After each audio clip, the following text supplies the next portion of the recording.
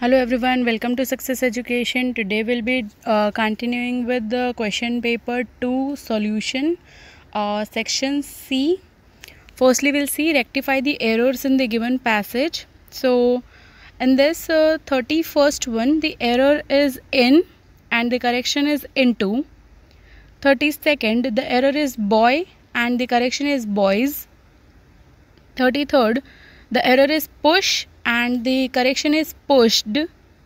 And 34th the error is on and the correction is to now next one is punctuate the following passage appropriately. That's question number 35 to 38 so here we have to put the inverted commas full stop and uh, semicolon over here.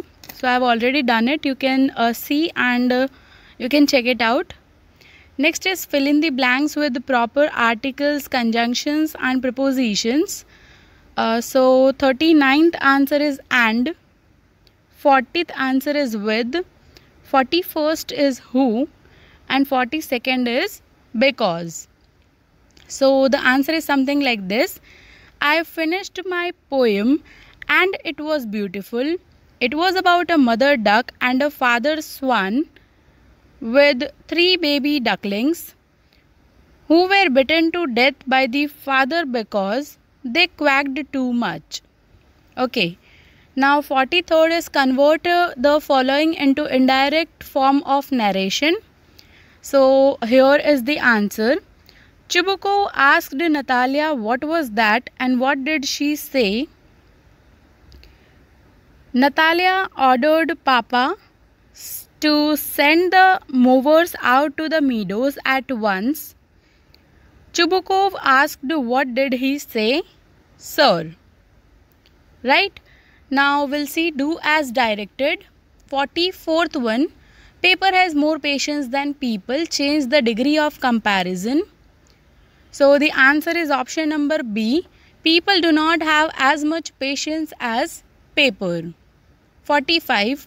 I was overwhelmed with a sense of history. Change the voice.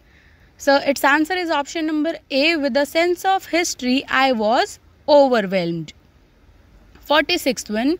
Who could be sociable with such a person? Turn into assertive. So the answer is option number B. No one could be sociable with such a person. 47th.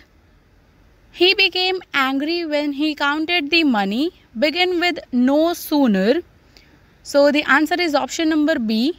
No sooner did he counted the money than he became angry.